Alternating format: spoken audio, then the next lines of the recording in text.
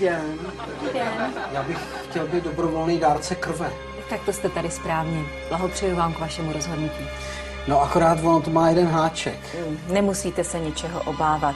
Já vám řeknu, co máte dělat a uvidíte sám, že to nic není. Nejdřív mi ale zodpovíte pár jednoduchých otázek, ano? No, já vám totiž musím říct, že... Takže, vypil jste v posledních hodinách větší množství tekutin? Eh, ne, ne, ne. Nejedl jste tučná nebo přepálená jídla? Ne, ne, ne. Eh, Nepožil jste alkohol? No to už vůbec ne. Nepracoval jste na noční směně? Ne, ne, to je všechno v pořádku. Akorát víte, co já se hrozně bojím jehel.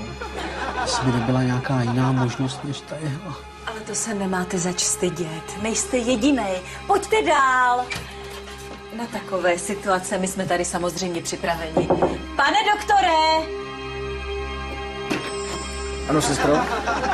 Dobrý den. Dobrý den. Já chci darovat krev a strašně Ano. se bojím jehel, jestli je nějaká možnost, tak to obejít. No to není žádný problém, to nejste Jo. sám, no jistě. Tak. tak. Postavte se mi takhle a nehýbejte se. Jako ano? na rentgenu, jo? Jako na rentgenu, tak. Ano, ano. Nadechnout a nehýbat. A tady se... Tady, pane Kelímek, nedržte si ten nos a darujte, darujte. Neudělal mi nic. 哈哈哈哈哈哈